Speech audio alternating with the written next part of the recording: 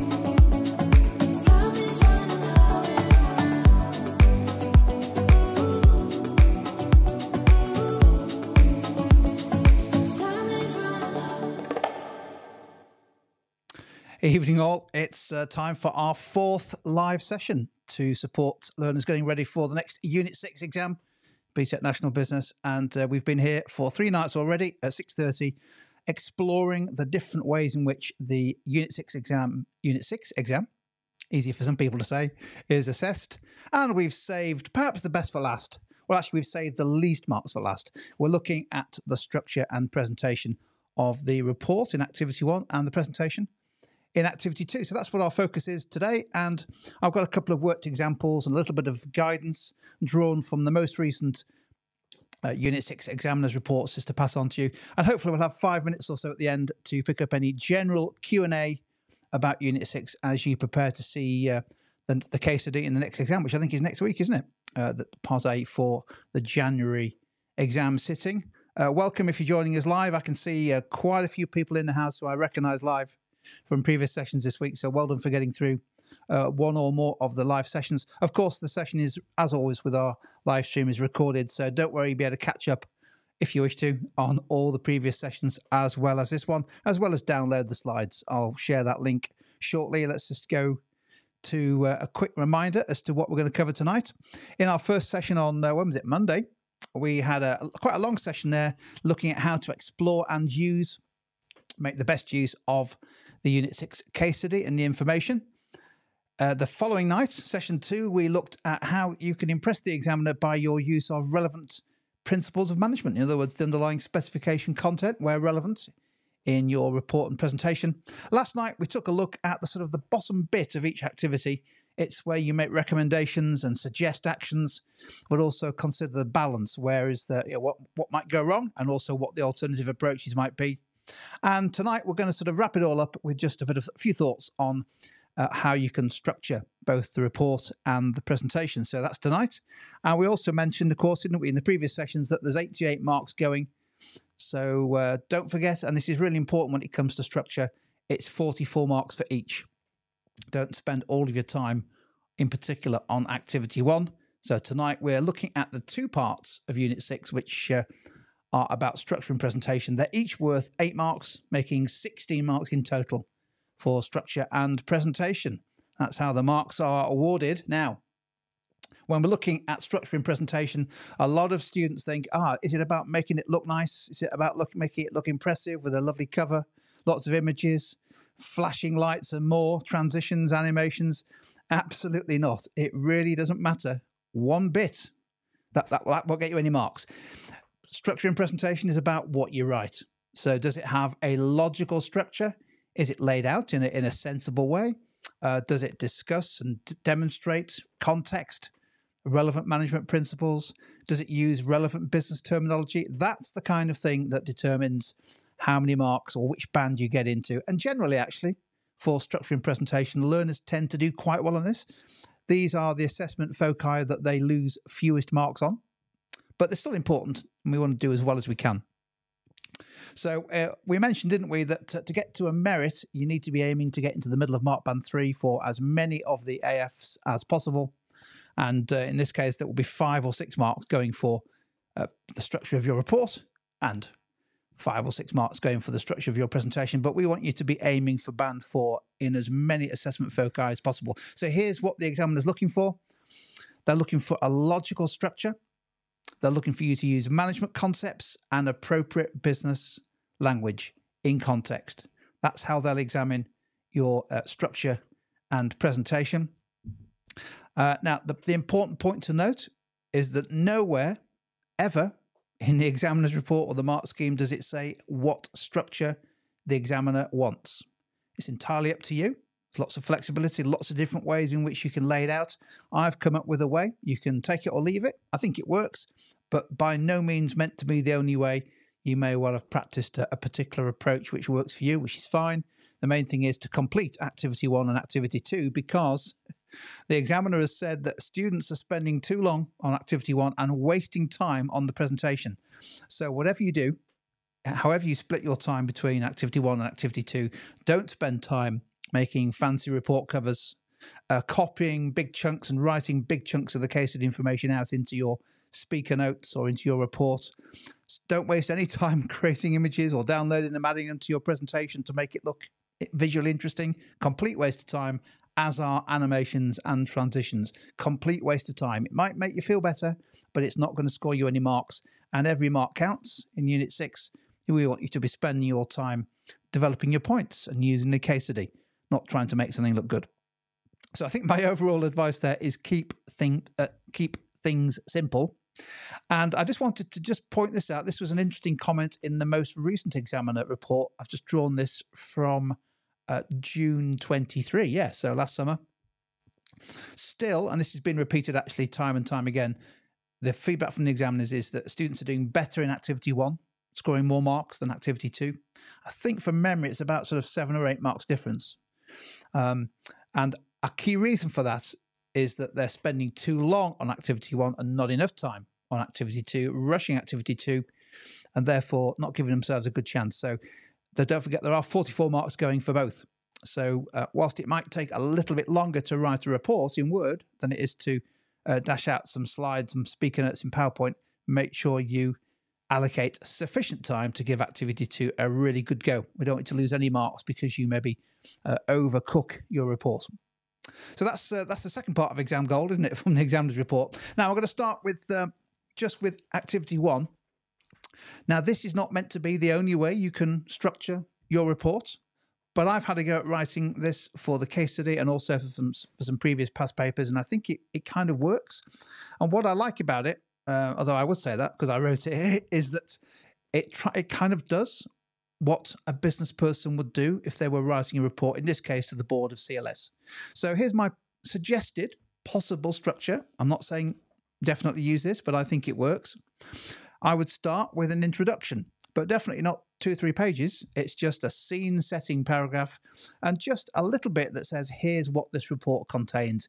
here's what we're doing, just to explain. And that's exactly what you get in a normal business report uh, an introduction and also what's following. As the reader, what can I expect to see? Next, I would then get on to where the real marks are earned, which is to develop an answer to the task that you've been given for, in this case, activity one. So I would start with whatever the task is. In this case, it was an issue, wasn't it, or a challenge? Do you remember the uh, uh, the CLS case study talks about the uh, the management and lead- leadership issues. So whatever that is, or it could be the challenges that the business faces. So I will deal with the issue, and I would try to firstly set out what the findings are and the evidence are evidence is from the case study and how they link to business goals. I think that's a good good place to start. And then at the same time, so rather than going on to a different issue, I would then bring in my recommendation stroke alternative approach. I think it kind of makes sense for the recommendation to follow what you've identified as being the issue. Deal with all that bit of content at the same time. That's not to say that's not the, that's not to say it's the only way of doing it, because clearly you could just go through all the issues and then come back and come up with your recommendations. But I think the danger with that is there's a lot of duplication. You could you could find yourself in uh, in some time trouble. So I'll show you an example of that in a minute. Now I'd then go on to do it again for a separate issue, doing exactly the same thing. Example coming up. Now, do you need two, three, four, or five? Well, if you've got time, but only if you've got time, because it's always better. So you definitely need two, don't you? Because we know that it asks for issues or challenges. So that's two. If you've got time, develop a third, but only if it's a really good point. I wouldn't be bothering with a fourth or fifth or sixth because that is genuinely wasting time. Better to develop a, a point, a recommendation fully in context rather than just you know, develop a shopping list of points. So if you've got time, great. But if not, think, right, okay, well, I'm coming towards the end of activity one now. I need to write a little nice, nice conclusion. And here I would just sort of summarize the main conclusions and a bit of a sign off saying, delighted to, rep- to report to you. Please get in touch if you'd like to discuss the report. So, should we have a look at that in action? And uh, looking in the live chat, really want to get your thoughts on this as we go. So, please do post your comments into the live chat. Uh, let me know what you think. I'm only going to do one of these uh, issues and challenges, but I will show you an example of an introduction and a conclusion to see whether you think it's something you'd want to do. Okay, so here's my introduction. And of course, you have to imagine this is probably just under a third of a page on a Word document. It has to be at 12 points, doesn't it? 12 point font. So it starts by saying this report considers the key management and leadership issues and how they impact the success of the proposed strategy. That's just taken from the task. In other words, you've been you've asked me for this. Here it is. Now I. I've I've deliberately excluded what I see quite a lot of learners using, which is to say, uh, my name is whatever Claude, and I am a management consultant, and I've been asked by the board to write this, and bum, bum, bum, bum, bum, bum, bum. waste of time. I think just get the report going, and then move on to a scene setting sentence or two that sets the scene. So I've written a little one here. What do you think? Uh, I just call it background. So you could call it introduction or whatever you want to call it. So after 50 years of success under Terry Brown's CLS has developed into a well-established, trusted retailer serving customers from 50 stores. It's got a reputation for a culture of customer service. However, that's great. However, the competitive environment is changing, more intense, necessitating strategic change and putting a, a big emphasis on management and leadership to guide the business through the change. So it's not meant to be critical. It's just saying, here's a situation. A business that's done well 50 years is now perhaps going to have to change a little bit quicker. And I think that's just a good way just to set the scene. So before I get onto my first issue, I think just a few bullet points that say what how am I going to explain this to you, the examiner? But I've done it in a way that is like in a report. So this report is structured like as follows. So firstly, we have identified the key issues. For each issue, we've summarized some evidence from the information provided from the case study and thought about how that links to the aims of the business, because that's what we know we have to do, isn't it, to get those distinctions. And then we've made some recommendations and suggested alternative approaches for each issue. So it really says what's following for each issue is what it says on the tin. And then our conclusion contains a summary. And I think that's all you need for an introduction. Perfect, I think, because then you can get into developing your first point, which is the issue and a recommendation. So How do we do it? Now, this is what I've gone with. You might have a different approach, which is fine, but I've sort of found myself coming back to this approach again and again because it kind of does what the Mark scheme wants you to do, which is to uh, synthesize, to come up with a, a big point, a good point, but then to link it to the evidence from the case study. So there's my context, linking it to the aims of the business. So that's why this matters. Then coming up with a, a recommendation that is in context to the business, but then showing some balance. So my risks and alternatives is my balance. And if I can do that quite well for each issue, then I think I've met the demands, by and large, of the case study. Uh, so Johnny's asking, how do you connect this to the question, or is the question just a rough guideline? Well, what I'm, if I just go back, uh, I'll just stick that comment, the question on the screen there, Johnny, just so people can see it uh, on the live chat. If I just go back a slide, the question is here, isn't it? Uh, hang on, let's go here. So we were asked, weren't we, in activity one to identify the key management and leadership issues and how they affect the achievement of the aims of the business and to make recommendations. Well, if you look at the second and the third bullet there, that is basically the question, isn't it? But we've we've we've written it in a way that says here's what this, this report does. But basically that's saying bullet point two, in fact, no, bullet point one, two, and three are basically saying I'm answering the question in activity one. Yeah. So hopefully that will become that will become clear. So those are my headings. Let's have a look at an example. Obviously, I try I try to do this at least twice. If I could do it three times, that's great. But I just want to make sure I do it well. So here's my first one. So I'd have a heading that says issue. In this case, I w- I've gone with the one we discussed on Monday, the approach to change management. So let's let's go through those headings. Our finding. Just a sentence. What have we found? It's a report. We've, we've been asked to report to the board on it. So Al- Alicia is making significant changes very quickly, which may have the effect of increasing resistance to necessary change uh, from key stakeholders and such as staff or customers, and also delaying achievement of the aim. So that's a finding, isn't it? The case study is telling us that she's moving really quickly. That might be a good thing, might not, but that's the finding. What's the evidence? And I love that heading, subheading evidence, because that, that's an invitation for you to draw out one or two pieces of information from the case study, perhaps from the tables, perhaps from the, something that someone said, perhaps a trend, perhaps an action. In other words, paddle. uh, so it's just it's an invitation to use the case study, isn't it? Not copy whole chunks of it out, but just to draw a bit of evidence. So CLS has grown steadily, one store per year on average, bit of application. Staff and customers have stayed loyal. Alicia now seems, to have a low concern for the values and traditions of CLS, and her priority is fast growth, lower costs, greater business efficiency, perhaps you know, over customer service. A consequence of that appears to be higher labour turnover, three times what it was. Um, I think it was uh, Johnny in a previous session who pointed out labour turnover was three times what it was under Terry. So I've I've used that. So thank you for that. And the checkout waiting time is twice the previous average. So there's the evidence. I don't need any more than that. That suggests, yeah, that we're moving quickly and there's some issues here. So the next thing is why does that matter? Well, this is where you link back to the goals. So always, always, always link back, keep coming back to the stated aims and goals. So one aim is to double sales to 100 million.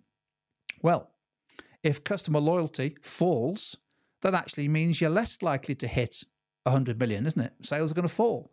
And it could be that if staff get demotivated by this sort of autocratic style, uh, that's actually going to make things even worse. So not only are customers getting a bit annoyed about all of this, but so too are staff. And in supermarket retailing, it's really important to have your customers and your staff on board, I think. So Alicia is correct. The business needs to change, but if it wants to achieve its aims, perhaps she's going to have to adjust her approach to change management. Now, that's our point developed. That's all you need, I think.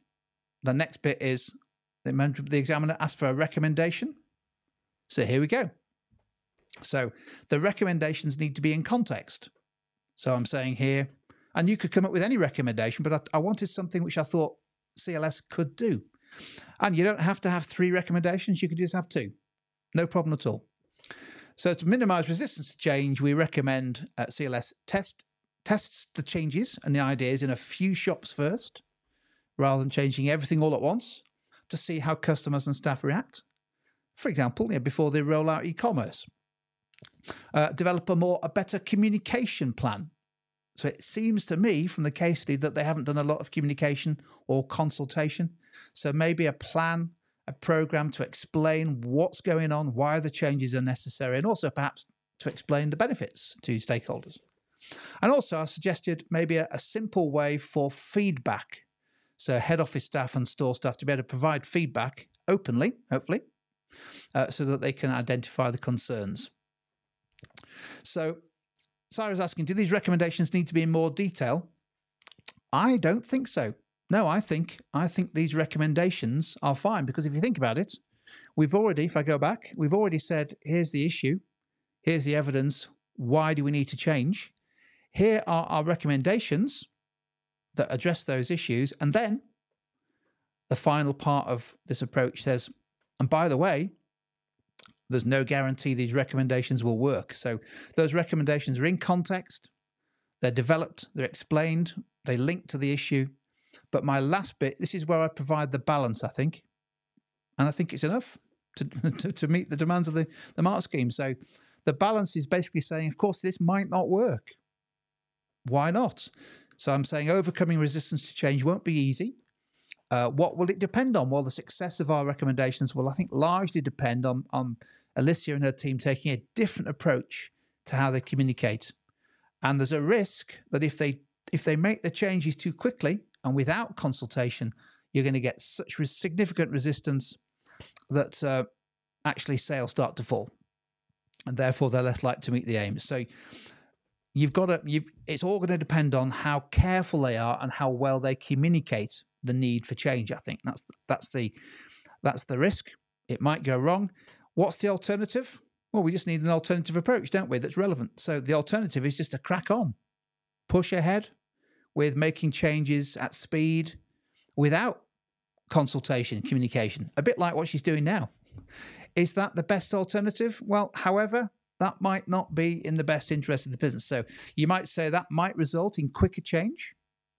However, it may not be attractive because you're going to get more resistance. So I think in that risks and alternative approach, it's not perfect, but it's definitely in context and it's about it follows from this this idea that you know, the recommendation is to take your time with change management here because it's all going too quickly. And I think that's all wrapped up nicely. So um, Hattie's asking, is it one paragraph per recommendation?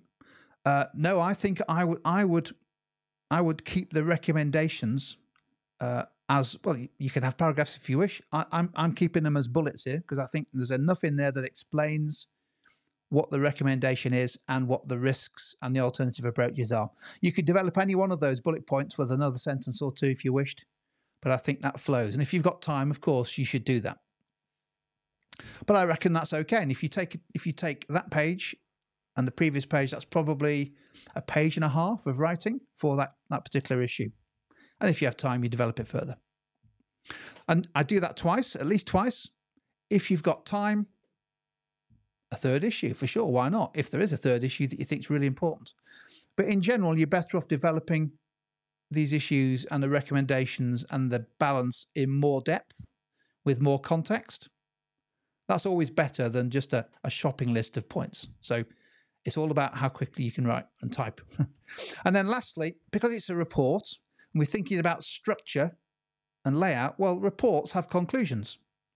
So we've dealt with the, we've introduced it, we've dealt with each issue, we've given them recommendations, we've shown some balance. At the end, it's just saying, look, if you follow these recommendations, we think that you'll you'll do better in terms of your stated aims.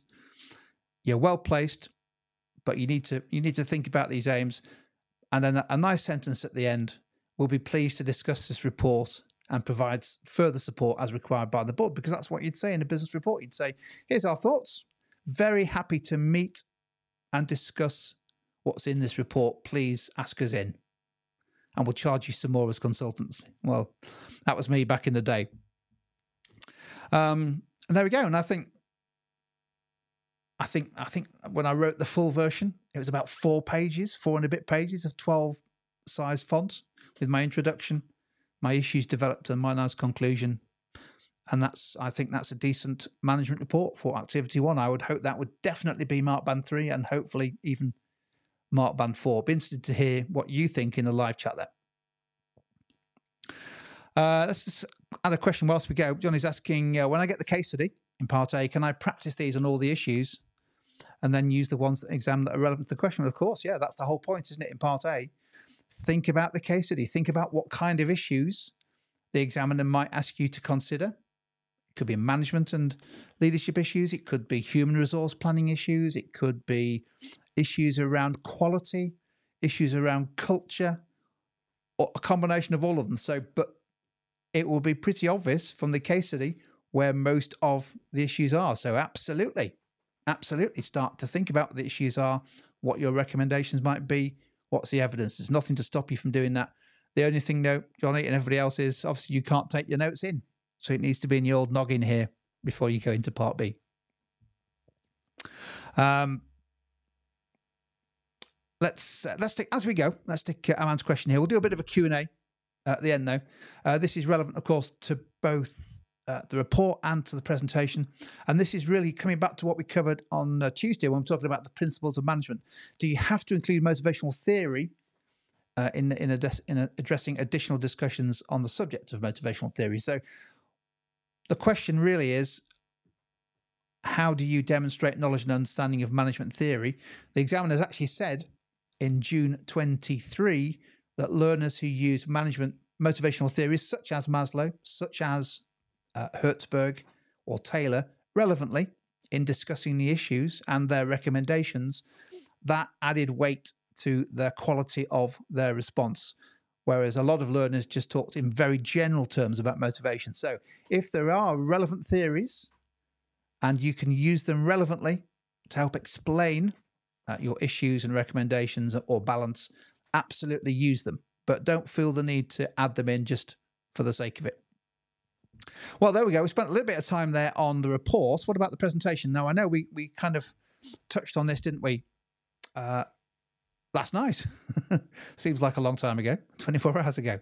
But I just wanted to very briefly just make a couple of extra points. I know we did that last night, but just maybe a few more points about the PowerPoint. First point, just a reminder 44 marks for the presentation. So don't leave this to the last I don't know, 30 minutes or 45 minutes. That's half the marks. So don't spend two hours on the report and, and 45 minutes, 50 minutes on the presentation. Try to make sure that you you give each a, a good effort. I think it takes a bit longer to write a report, type it all out, but don't just do the presentation activity to as an afterthought. We said that already. So how do we how do we do the PowerPoint? Again, there's no structure here. There's no the, the examiner's not saying here's what I'm expecting in terms of layout and structure, except they have say they have said forget all the fancy stuff with animations and images and transitions. Complete waste of time. But again, I think it's a similar approach. It's about maybe a little introduction. I think it's a good idea just to put a slide in, just reminds, as you would in a report, reminds uh, everybody, the reader, what the business aims are. And then we get into, and I've suggested a four slide approach for each issue, but you can do it in three or two or five. It's up to you. A similar approach to activity one, just because I think it helps. It helped me shape my thoughts on the on the challenge of the of the of the question.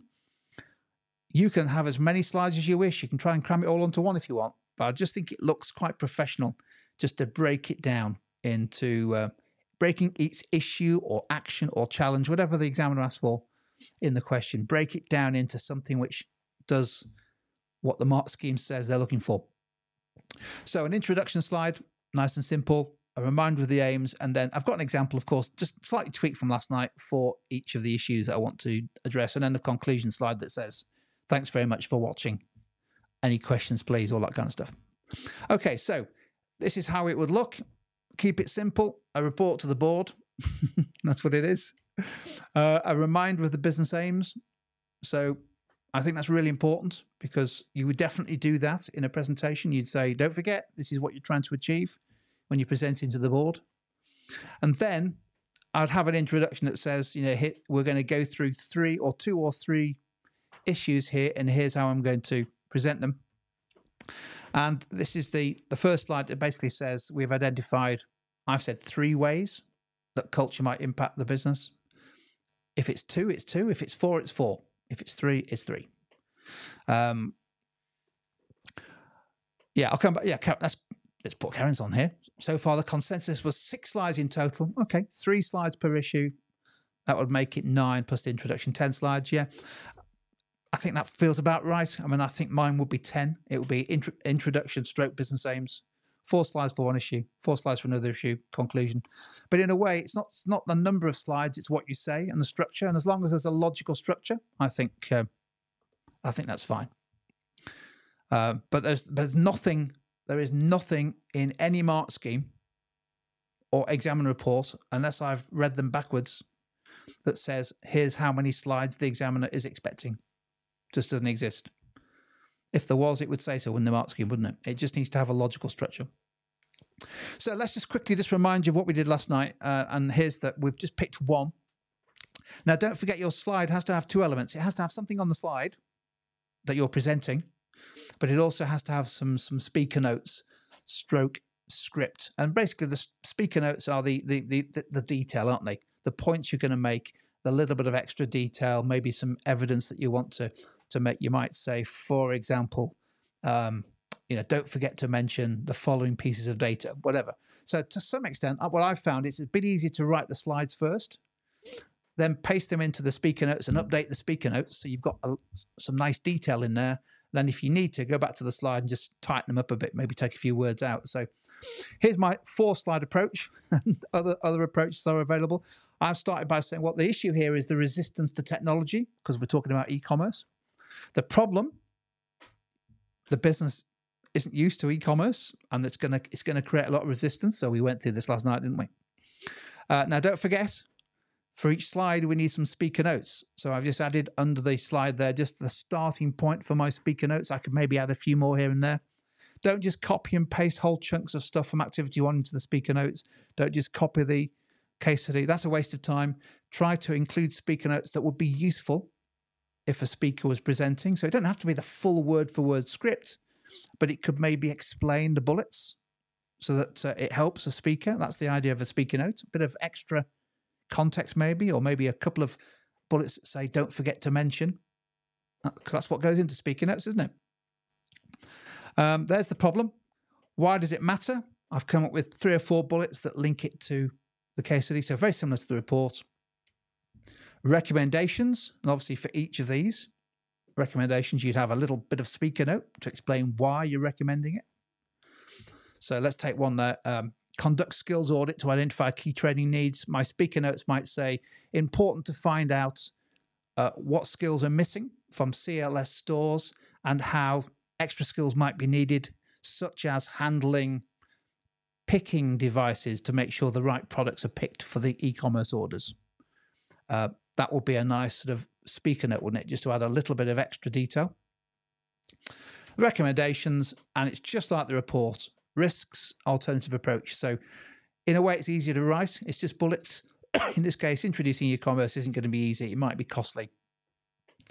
Um, you might say there's too many words on this. I could turn those into speaker notes really quickly and then just uh, trim them a little bit. But basically, we are saying, as weren't we last night, that actually with e-commerce, you've got to be really careful. So the alternative approach is to go slower. The alternative approach is basically using pilot stores, isn't it, to test out this whole new system, iron out the the bugs, iron out the problems, sort out the training, all that kind of stuff. We went through that last night, but uh, that's that gives me the balance, isn't it? It gives me the balance and saying, look, there's a there's a different way of doing this. And there we go. Now, so therefore, we'll come back to the Q and A shortly. Uh, I asked somebody emailed me last night saying, could you just summarize what we need to do to get a merit or even better a distinction? Well, in a way, this is quite a nice little summary, isn't it, of, of what we've done in the last four sessions. Uh, if you're aiming for a merit, which would need to be mark band three on average, uh, or a distinction, which is basically mark band four on average, what do you need to do? Well, in both the report and the presentation, here it is. Use the case study all day long relevantly. Don't just copy it out, but draw out some key pieces of information, data, and what have you. So that's our paddle approach, isn't it? always, always, always link back to the aims and goals every time because it matters. Develop your points as fully as possible, not page after page, but try to explain how and why. That's a relevant recommendation or why it's an issue. And we've showed you how to do that. Use appropriate management terminology and principles. So if you're talking about motivating employees and uh, bonuses and rewards, use terms like bonuses, rewards, financial motivation, maybe even bring in motivational theorists if they're relevant, like, I don't know, Taylor or Maslow or Herzberg. Where you're making recommendations, show some balance. So suggest alternative approaches and also suggest areas where that recommendation may not be successful. It's not a whole page, but it's you know it's it's showing that you recognise that not everything is certain in business. And lastly, this is what we've done tonight. You get marked for AF4 and AFAs on what you write. There's no set format, but what you write, isn't it? The structure. Does it look professional? Does it look like somebody is a business presenter who's been through the issues and is reporting back or presenting? Does it have headings that make sense? Does it explain what you're doing? That's what structure and presentation is all about. And I think um, I think that does the trick. Uh, right, let's let's do a bit of Q and A whilst we're going. Uh, by the way, I'll make this uh, this download available as always at tutor2u.net forward slash live. Uh, saying, could you present it as follows? So this is activity two, yeah. An introduction slide, a slide outlining the aims, yeah, did that. A slide encompassing all the issues, yeah. A slide encom- presenting all the recommendations. Yeah, you could, you could. Yeah, uh, absolutely, you could. Yeah. I mean, all I've tried to do is for the slides that develop the issue and the recommendation is just to break it up a bit because I think they kind of they kind of flow. Um, but yeah, you absolutely could. Um, don't get too hung up about the number of slides. People are saying that Pearson is saying there's a minimum of six. Okay, well, if there's a minimum of six, great. But you're going to be doing more than you're going to be doing at least six, aren't you? So uh, I think just the key is uh,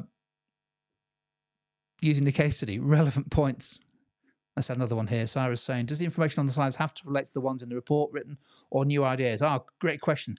Well, don't forget, the activity two is a different question from activity one. Completely different. So in our CLS case, activity one was all about the management and leadership issues, whereas activity two was about the culture of the business and the proposed and change management, wasn't it? So there's always going to be a little bit of crossover, but basically you can't copy and paste what you've done in activity one into activity two because they are separate activities with separate questions.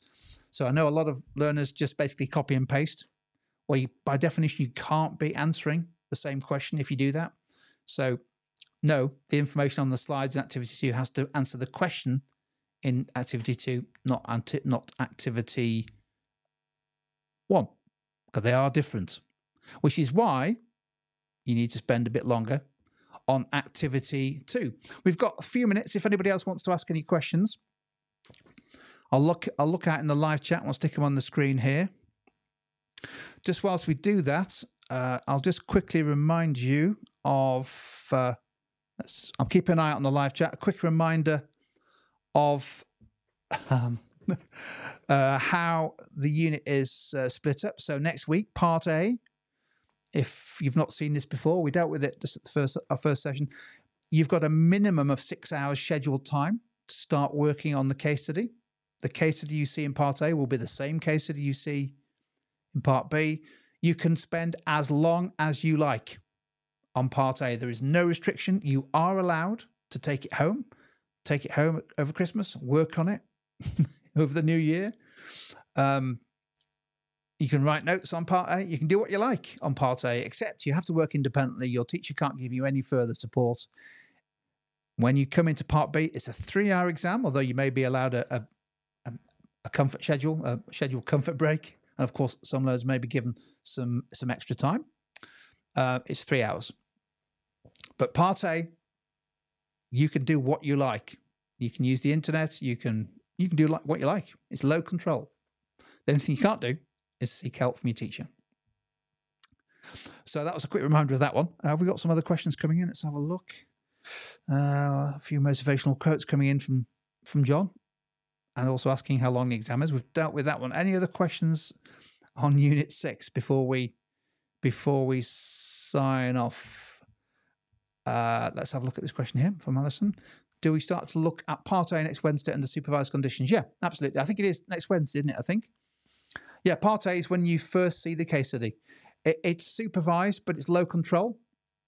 So it basically means you know you start looking at it. You can have access to, the, to your notes, to the internet, whatever. The only thing you can't do is have any help uh, from the people in the room. So uh, yeah, over to you. Start to think about the case study. We dealt with that, didn't we? Start to pick out the key features. Start to maybe look at some of the information, the data.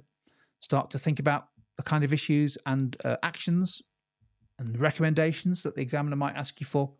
Lots to do. On that matter, John's asking, Johnny's asking, will you be going over the case study? Well, I've just said, haven't I, that when the case study is, is shown to you, that's it. The assessment is live. Nobody can help you.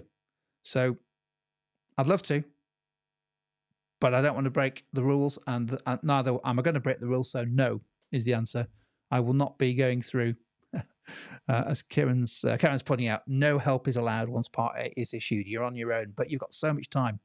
So no, I won't be going over the case but I'll be keeping my fingers crossed for everybody on uh, on the 12th as you start to look at it. Any other questions about Unit 6? I hope you found it helpful, these four sessions. And of course, the uh, the download of the PowerPoint. There might be one or two little ideas in there which is uh, might might help help help you prepare when you stay when you see the case study. Let's give it a few more seconds to see whether anybody else has got any observations on these sessions or specific questions about Unit 6.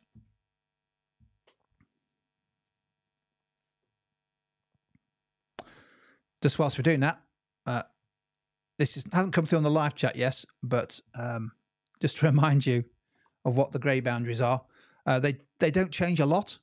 The average mark in the summer was 41, almost 42, which have clearly got you a pass.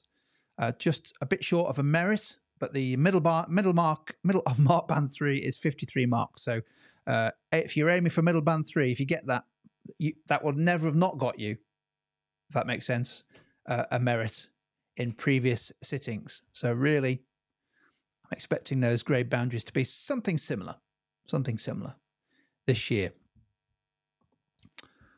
Okay. Uh, uh, here's a question from Alison. So, can we teach on Unit 6 but not about the issued case study? Absolutely. Yeah. Too right. You can continue to teach the underlying content. Uh, just can't mention the case study. Can't mention the live assessment. Uh, absolutely. Absolutely. John's saying, uh, this might be tongue in cheek. I suspect It's going to get more than 17. What happens if I get 17? Do I fail? Uh, well, it depends what the grade boundaries are, doesn't it? But uh, if you get 18, that could be a near pass, couldn't it? But less than 18, uh, you might have to take uh, have another go at the unit. You'll get more than 18, trust me. If you if you're on these live streams, you're going to get a lot more than 18. Um, yeah, awesome stuff.